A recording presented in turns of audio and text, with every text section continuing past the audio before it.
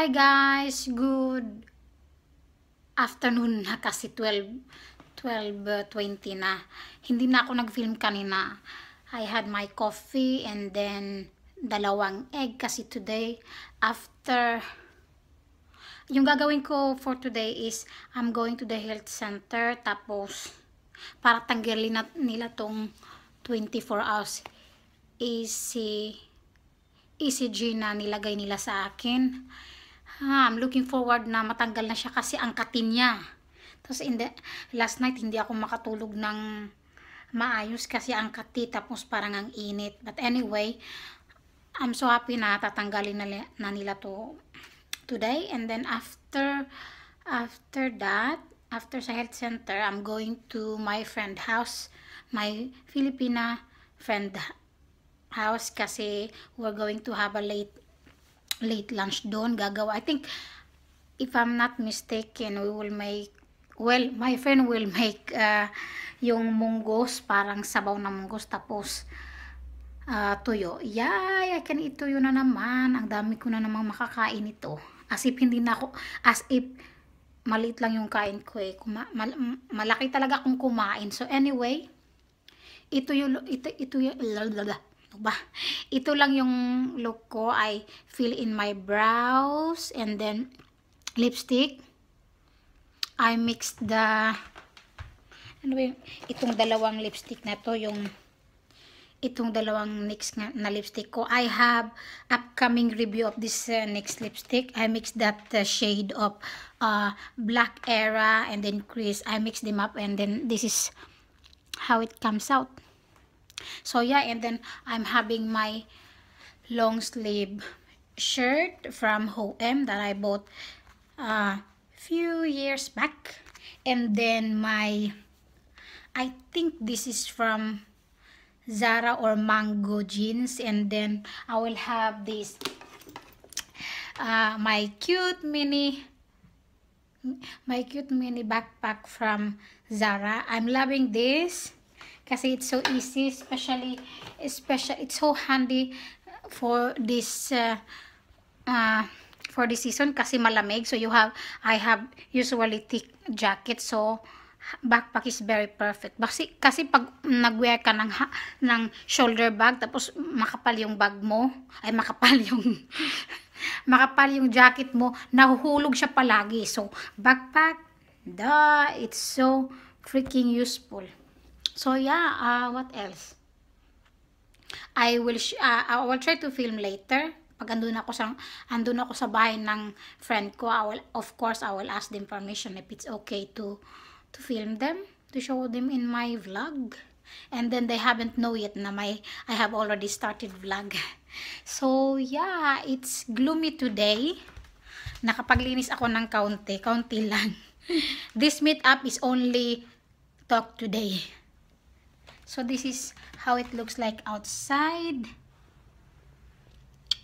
Naku, hindi clear. Kailangan, ko, kailangan na maglinis yung asawa ko ng bintana. Anyway, ito yung binili, na, binili, binili namin the other day ng anak ko. So, nilagay niya dyan kasi malapit na yung Halloween.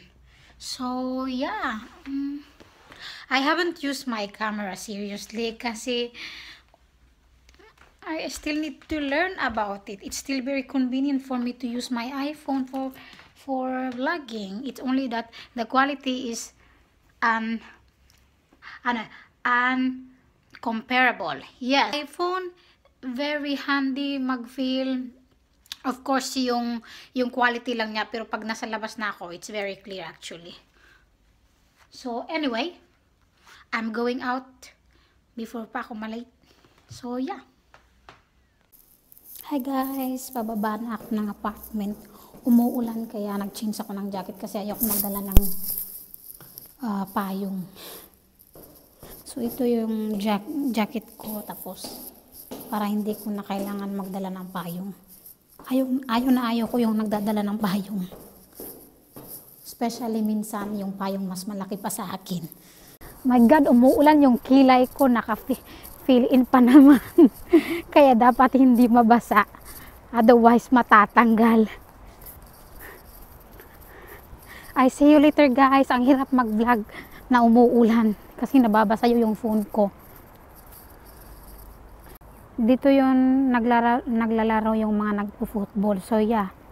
Andon, yan siya. Yan yung uh, preschool ng anak ko. So, ito yung view.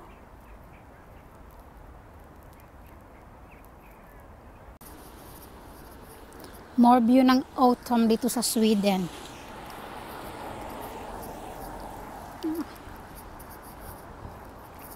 Napaka-shaky ng phone ko.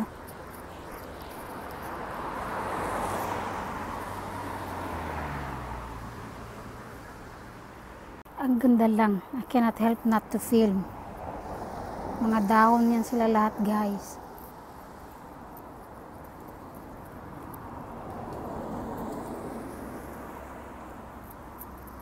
Malilate na talaga ako kasi film ako ng film.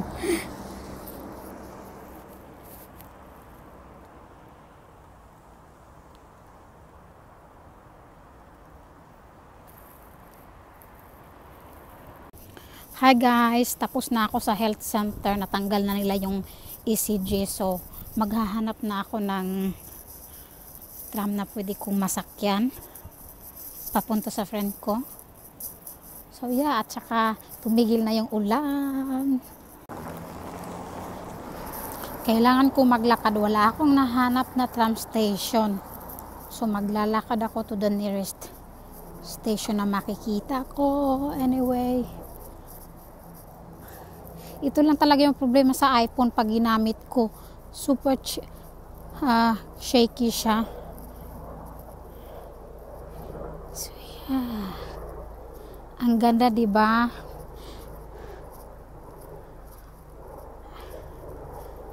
malamig simoy ng hangin malapit ng Pasko pero wala pa kaming Christmas tree yung Christmas tree na binibili namin is yung fresh. Nagsisimula silang magbenta ng fresh uh, Christmas tree. Uh, I think around 10 days before Christmas, mga December na. So, hihintayin namin yun. Kasi gano'n naman dito, but you can buy Christmas tree, yung plastic sa mga tindahan. Meron yun sila ngayon. Pero, meron kaming maliit pero we usually have yung malaki na yung malaki na real na Christmas tree. Hindi, hindi kami yung sa plastic. May maliit kaming Christmas tree dati, yung maliit. Kasi si Camila, gusto niya ng, gusto niya ng maliit na Christmas tree. So, we have, we both want a plastic. Pero, gusto namin yung real talaga malaki. Mas mataas pa sa akin. I think the last time is we had 2 meter height na Christmas tree. So yeah, excited na akong mag-decorate na naman ng Christmas tree. Tingnan nyo yan guys. This is yellow and then a bit uh, red na mga puno. Teka lang, baka ma mahagip ako ng bicycle. So yan, ang ganda no. Tapos dito, They have yellow. Napakaganda. I love it. Para talaga, kahit na medyo matagal na ako dito, naiignorante pa rin ako sa mga puno na yung mga nag-change sila ng color. Naiignorante pa rin ako. Talagang film ako ng film. Itong phone ko, puro na picture or video ng mga mga ganitong scene. I really love it dapat kahapon nga nag-film ako ng nag-film ako nun sa new na uh, camera ko. Wala lang, yung pinilm ko lang yung mga view, yung mga dahon. Gusto ko lang. So yeah, wala pa rin akong mahanap na, na tram station. I think I need to walk 15 minutes or 20 minutes. Doon pa yung doon, doon pa mayroong station. So yeah, it's good exercise anyway kasi kakain naman ako ng marami mamaya. See you later guys! Dito ako nakatayo kasi dyan may isang tram dyan na pupunta sa destination ko. Tapos dyan, merong isang tram din na pupunta sa destination ko at isang ito na yung munggus namin tapos na. Tapos ito yung pagkain namin. Meron kaming pritong isda, tapos tuyo, Yum! Yan yung pagkain namin. Kain tayo, guys. Tapos munggo. Munggo lang ba tawag niyan, Jin? Anong tawag niyan? So, where are you? Uy, are you? Papi na sa sa picture niya ang bukog na asa the plane. Wala eh, wala sa na-apil. Video naman di ay. Ano ba kain? Stop it, stop it. Hi guys, andito pa rin ako sa bahay ng friend ko. Tumitingin kami ng idol. Yan siya. Uwi na ako maya maya and then we had already eat some coffee and then mm, blueberries pie.